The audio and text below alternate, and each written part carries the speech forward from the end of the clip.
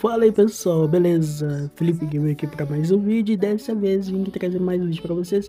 Saiu aí a nova atualização do Rotas do Brasil, mas calma, calma, calma, pera aí que saiu pra gente que é testadores beta. Não saiu para vocês ainda que é público, em breve vai sair para vocês público aí.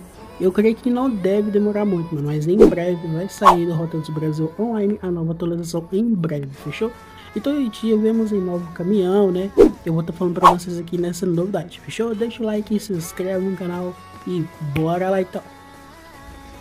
Então assim, mano, nessa nova atualização tivemos um novo caminhão que está passando na tela. Tivemos aí correções de bugs, né, que tava tendo.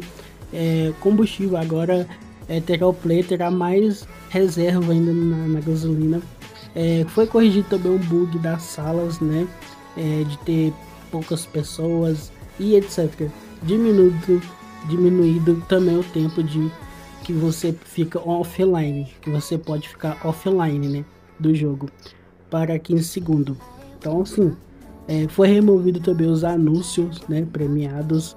Também é, teve o sistema de frete, aí, o sistema de frete aí, né, que foi removido, né, os anúncios aí do sistema de frete. Também foi corrigido aí também, né, é, os bugs do, de caminhão, né? Que vocês viram aí.